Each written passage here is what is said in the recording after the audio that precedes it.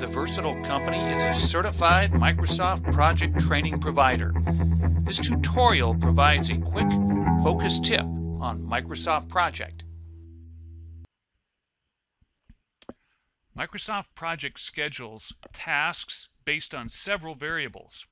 In this module, we will demonstrate how to set two of those variables. We will enter a project start date and choose the default task type. We will demonstrate that entering these two variables is essential before entering any task data.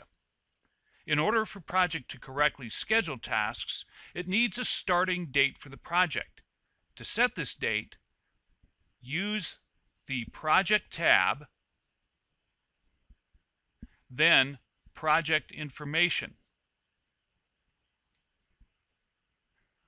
Notice that the default for the project start date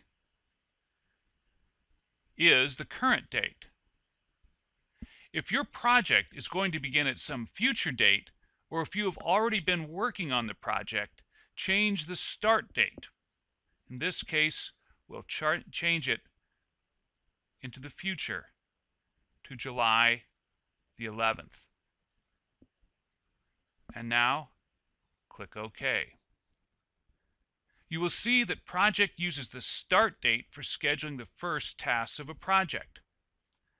Now, let's set the pro proper task type. The task type is a critical variable in project scheduling engine.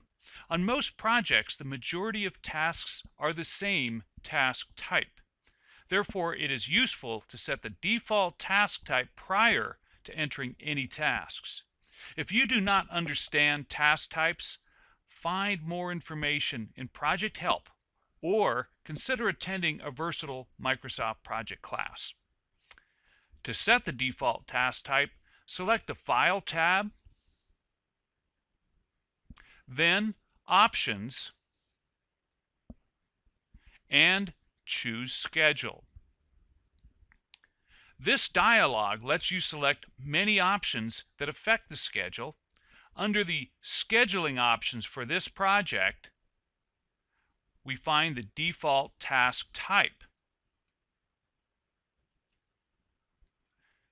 Select the preferred default task type from the drop-down list.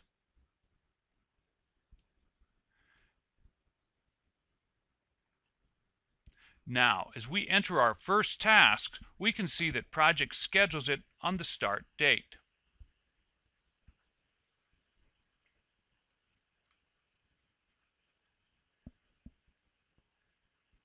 And that is July the 11th. Establishing the project start date and the default task type will make it much easier to enter the tasks on your project. There's more to know about Microsoft Project. Be sure to check out our other project tutorials on YouTube. For great training in project or project management, contact us at www.versatilecompany.com.